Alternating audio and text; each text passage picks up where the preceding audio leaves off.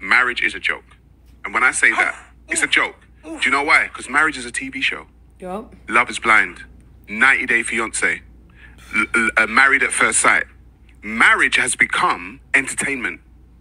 It's not. There's no sanctity in it anymore. So when the same women that are sitting down to watch Married at First Sight and Love is Blind and 90 Day Fiance, the same women saying, "Oh yeah, I want to get married." You're literally watching marriage as a TV show. It's not.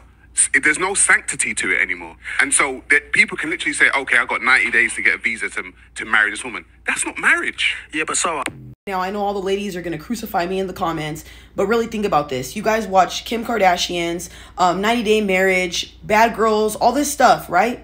And you're putting this all in your mind and wondering why you view things the way that you do. I stopped watching TV years ago. And if I do watch things, it's anime, Baki, um, movies here and there, but I'm not sitting there soaking up all that negativity. Now, I'm not saying it doesn't exist. But your idea of marriage is tainted because of the things you watch. They're making a mockery of everything.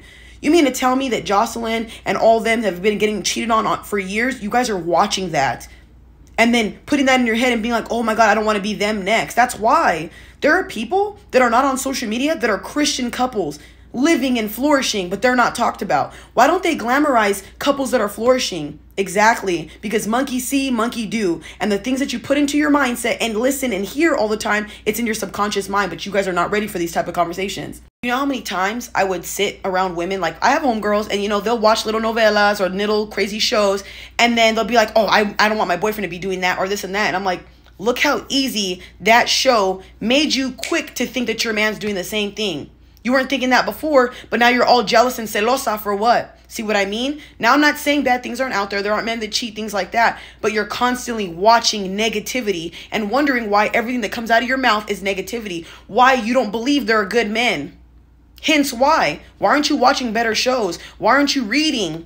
Why aren't you educating yourself? Why aren't you guys doing things better? I hate that I get ridiculed over this damn loving your man, taking care of your man. But guys, why are you in a marriage if you're not going to do that? Why are you in relationships if you're not going to do the best that you can? Read books, go to therapy, do the self work. And this is for men and women. I feel like the things that you put into your mindset matter, especially when you get to a certain age. I'm not trying to be 30, 40 years old talking about I hate men. But a lot of you guys are like that, bitter Betties, and you want to sit like that.